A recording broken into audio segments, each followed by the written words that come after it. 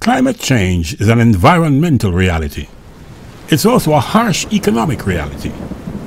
As a small island developing state that depends so heavily on its coastal ecosystems, Jamaica needs to be able to adapt to climate change. For climate change could mean hurricanes, increased storm surges, and flooding. And that could be disastrous.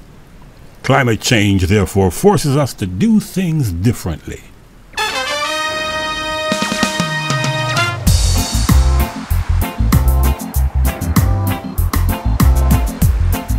Some Jamaicans had already begun to feel the effects of climate change and had started exploring new ways to earn a living. I used to do farming.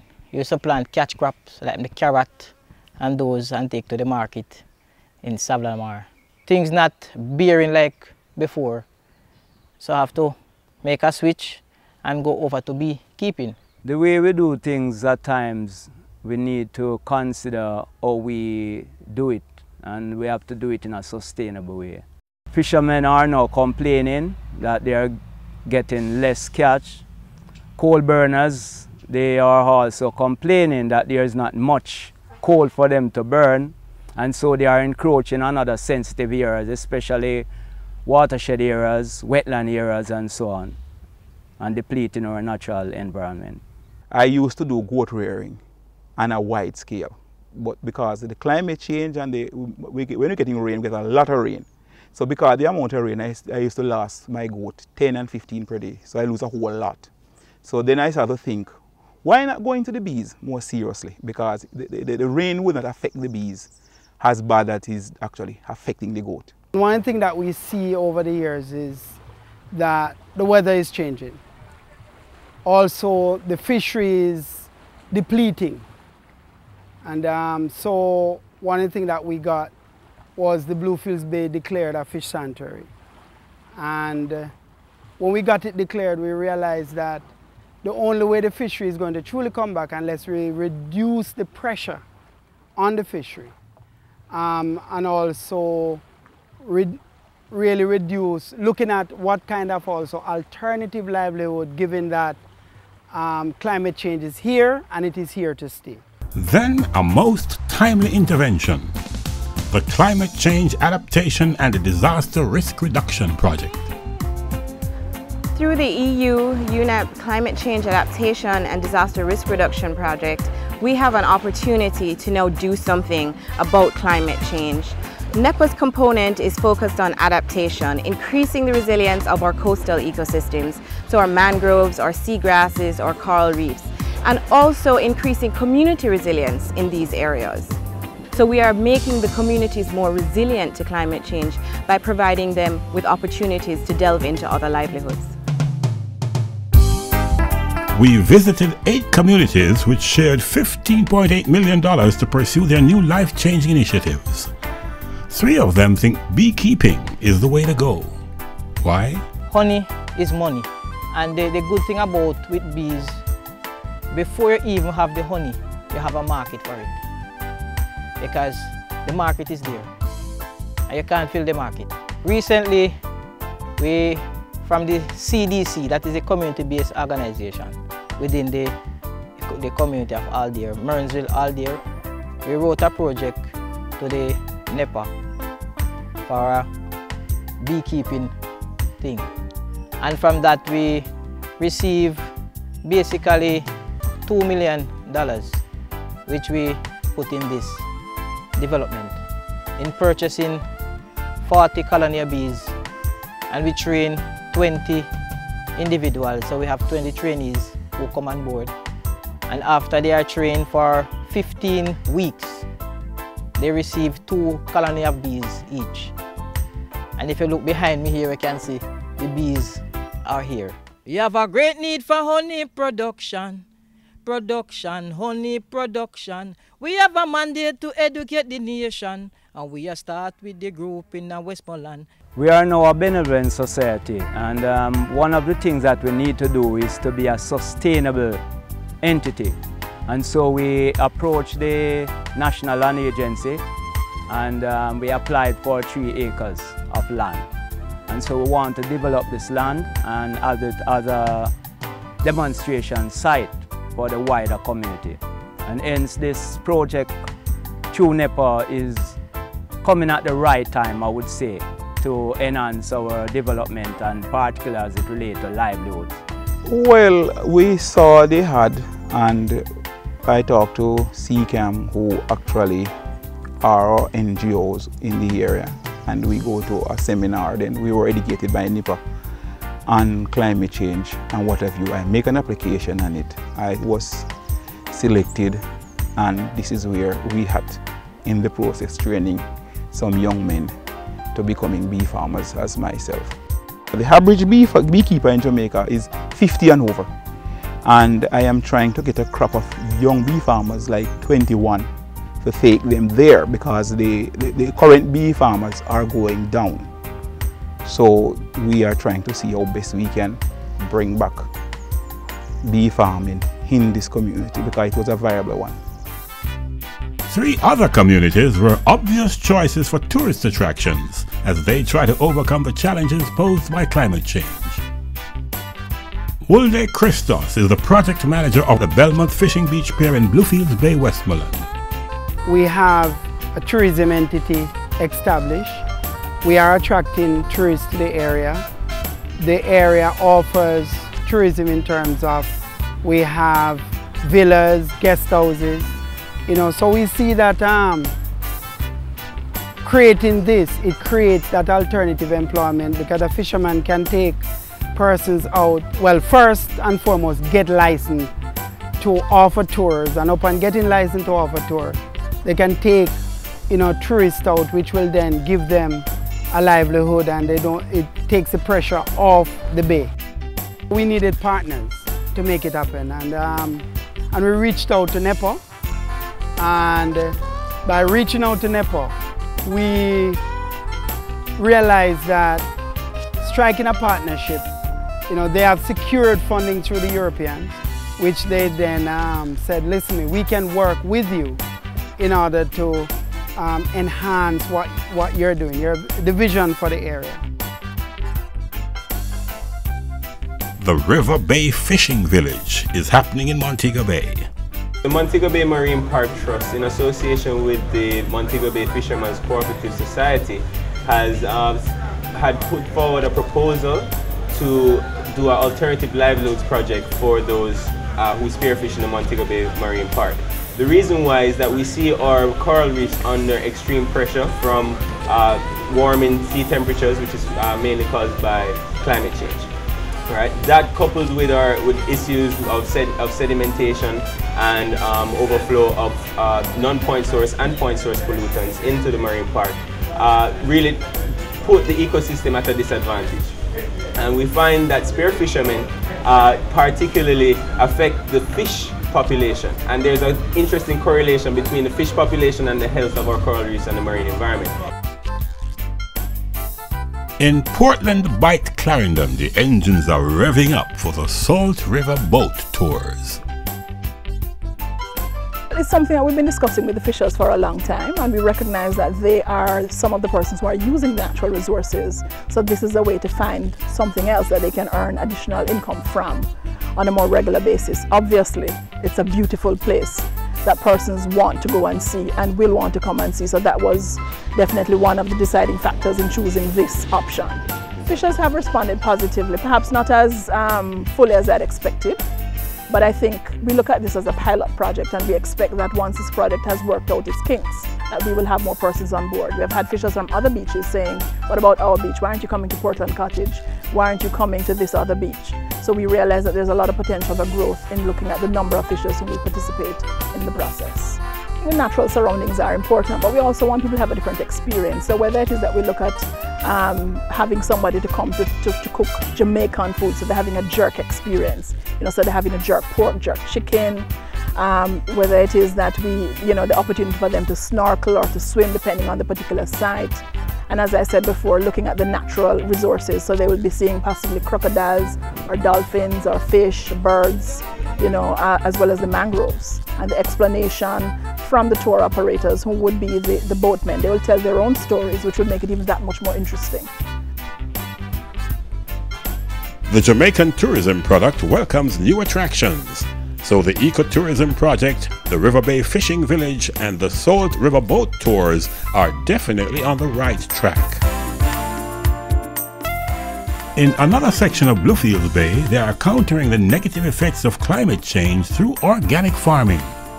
Upton Lawrence represents the Westmoreland Organic Farming Society. I would never know nothing about those type of practices. I only know about conventional farming. That we use a lot of fertilizer, they dig up the land, the rain come and wash it away and those stuff. We learn from the Jamaica um, organic movement these organic practices, how to do your own manure, how to stop soil erosion, how to, what kind of tree not to cut down, what you can put in the soil to help the soil nutrients and those stuff. And from that, I just love organic farming. So Eventually I come back home and I start do some practicing on my own little farm back in Montreal. And from that the group the group start to grow with a lot of person. People like it and come into the group, they get registered. And from that we start go from place to place. We start to plant, do our own individual farming back home and back on our little farm. We were at the um, Fisherman Beach, go to a workshop there and we hear about different, the EU have different different things that they're funding. So what we have to do as a um, society, uh, we have to write a proposal. So when we come up with that proposal, we come up with a lot of things. Our, our crop that we, we used, used to grow, we grow like sorrel, we grow like callaloo, pop choy. We have other farmers who grow like sweet pepper, broccoli, and a, a lot of, a, host of different different crops. To consistently plant in sorrel, we have to have water that we can plant sorrel right around the time. And we also, what we do with the sorrel when we have it, we do agro-processing with the sorrel. So we make like jams and jellies, we make like plum jams, sorrel jams. Now we're even making guava jelly. It really started with a, a needs assessment and priori prioritizing those needs. Um, the group worked in two groups, uh, the group of members who are farmers and members who are into the agro-processing. And we looked at the needs of, of those members. Uh, and the top needs were, for the farmers, was access to water, access to land, um, improved seeds, uh, tools and things like that. Uh, and on the agro-processing side, it was um, you know, good kitchen space, access to commercial equipment, and um, just more training. At the western tip of the island in Negril, Westmoreland, we were exposed to the unique Sea Moss project by the Negril Coral Reef Preservation Society as they fight back against climate change. The Negril Coral Reef Preservation Society, as you know, is into coral reef protection, preservation, and we, we ensure that the coral reef um, survives. And as you know, coral reef, because of climate change phenomena, is coming under some serious pressure. In addition to providing income and shoreline protection, locally now in Little Bay, some of our coral reef members, they are suffering loss of income from climate change phenomena. Because of the pressure coral reef is coming under, the fisher folks who depend on the coral reef, and you know coral reef provide um, habitat for, for fish and other marine life. Their stock, what they catch, their, their bounty is dwindling. Similar to the farmers, the farmers in the area, who are some of our members also, are coming under serious pressure. The NCRP, NCRPS being cognizant of this, collaborating with NEPA, who is such a great partner and an enforcer and protector of the environment. We're collaborating with them to provide alternative livelihood for the farmers and the fisher folks. I don't know which tourists don't eat ice cream. And ice cream, to, to make ice cream, one of the critical ingredients is, is sea moss. It's also believed that sea moss is a serious aphrodisiac. I remember when I was in Senton way back in the days, the biggest thing was Irish moss and linseed, and I don't see that no more. It is our intent to resuscitate it. And also, if we grow more than the local market can consume, then we'd look seriously at um, exporting. A great concept. But the energetic and enthusiastic gentleman doesn't stop there. his Negril Coral Reef Preservation Society has also undertaken an agricultural assignment, the Royal Palm Nursery. What we're doing here is a very integrated project where, you know, there's two things that cause climate change. One, CO2 emission from motor vehicle and heavy industries, and two, um, deforestation. So the carbon in the atmosphere causes the climate to warm. So we, we figure that any alternative livelihood that we're going to approach, then it should address one, taking the CO2 from the atmosphere and sequestering it into the ground where it belongs, and two, um, taking cars off the road because we believe 500 palm trees would be the equivalent of taking about a dozen cars off the road annually. The amount of CO2 that it would store into the ground. And three, it would be, provide livelihood for the folks. And four, it would also mitigate people from going into the Royal Palm Reserve to remove those protected palms. The alternative livelihood component of the climate change adaptation and disaster risk reduction has been extremely successful. It's one component that actually brings joy to my heart and to all of those who have been able to participate in this process. It's really good that we were able to have the opportunity to provide community members with a chance to increase their resilience to climate change. It's exposing them to livelihoods that that can expand, that can grow, that can provide um, resources for the community, that can provide an opportunity for people to send their children to school while still taking care of the environment. Everything is rolling quite fine. Yeah. Just and and and and the, the the the good thing about it, the trainees, they are committed. Some used to do fishing, yes. Some used to do carpentry okay. and all of that and they gravitate right over now to honey production. And in five years and beyond, we plan to have our own even backlane plant where we can source internationally we send honey because basically our honey in Jamaica is the best in the world. And there's a great market overseas because right now we can't export honey because we don't have enough. We are hoping that in another few years we'll be counting as we are counting now and then we want to farm ourselves in a cooperative. Um, it's just a drop in the bucket, thinking about the economic crisis facing the country and the communities generally. And then to persuade farmers from, I mean coal burners, from burning coal. It's not easy, it's part of their culture. Also the fisher folks, it's part of their culture, but I know that they will realize as they are realizing the serious impact they are facing right now, especially from climate change. We are looking in areas um, where we can sell bees and, and, and hive bodies and what have you.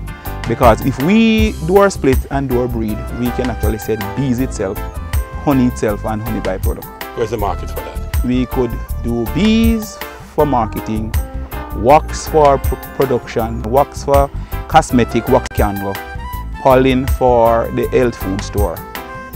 And honey as food. We're seeing where fishermen can now, if they, if they do fish, a significant amount, a significant amount of who is out there, when they do fish is to feed themselves and um, maybe to provide fish for the community, but not so much that they need to go out there and run down every little baby fish in order to survive because um, employment, you know, is there in terms of them taking out persons to look at the fish that they would catch. Um, what we'd really love to do is make this beach, this fishing village, um, a, a example of what fishing beaches can do and of what ecotourism can do. In addition to the tours themselves, we're hoping that there will be bed and breakfast programs that the persons from the community can benefit from, that they will be selling craft items, that they would be producing food and other things that the persons would be interested in benefiting from. So it would not just be the tours, but the supporting activities that will come in due course.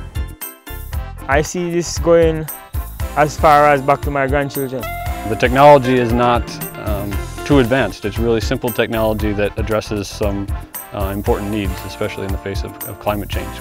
We, we have a lot of fishermen which is um, can't really afford fishing and some of them really fishing. we wanted to get some of them out of the ocean to come here and work with us so we can ease the pressure off the ocean so it can get to replenish. And we wanted um, to protect it here, this area for our fish nursery. 10 years from now, we expect the mass to be generating some serious income for the folks in Little Bay. Um, we also want to partner with SRC, the Scientific Research Council, to see what other product can be developed from the mass in addition to what we now know. And it's really technical to grow, you know, and the, the, the funding from NEPA and the UN people, it's really welcoming. All the communities that participated in the alternative livelihood components of the project really have to be commended. They all had ideas for themselves. They all had some sort of a concept as to what they wanted to do, what they wanted to do to take the pressure off the coastal ecosystems, what other livelihoods they wanted to enter into. So in truth and in fact, the seed is already planted within the communities. Through the EU project, we were able to plant and water that seed and it's beginning to grow. And there's so much opportunity for future development within these communities and throughout Jamaica. Well, I really want to thank NEPA for believing in Bluefields. Also want to thank the team and also persons who are in the tourism sector, the Ministry of Tourism, everybody who have really come on board, European Union, you know, to really support the vision. I think, um, you know, all of us are going to continue to work together to, to make this area one area which is better prepared and definitely dealing with climate change. There is still a lot of uh, structural development that needs to be done, um, but it is a platform that it can, it's a platform for the Montego Bay Fishermen's Cooperative to use we can start generating its own income to start start that process. From this venture, we form a group named the Western Pride Bee Farmers. And this is the name you will see from this over the world. Marketing honey and selling honey from Jamaica to other countries. Beekeeping, you put it somewhere and you just want to know about it start it in your backyard, it's start anywhere. You can take a vacation while your bees is still working because beekeeping is like you have a factory and some workers and you manage it properly and then you will just get there. And you can actually educate yourself, you can do a next job and you can do something while you're still a bee farm. Bees help to pollinate whoever farms. So if there's a farm, anybody putting up any farming like mangoes and any other tree, the bee, the bee help to pollinate it. So the bee farming help in pollination. Instead of you depend on wind, the bees will actually do the pollination for you. So if you plant pumpkin and if there's no bees, you have less pumpkin, less melon, less anything. So instead of you depending on flies or other insects and you have abundant bees, uh, bees abundant, then you'll get a whole host of fruits and, and other. We certainly do need a lot more help, but I think we should also find time to say thanks to the government of Jamaica National Environment and Planning Agency, the European Union and the United Nations Environment Programme and other partners for assisting us in this way and we're looking forward for greater support as we go by.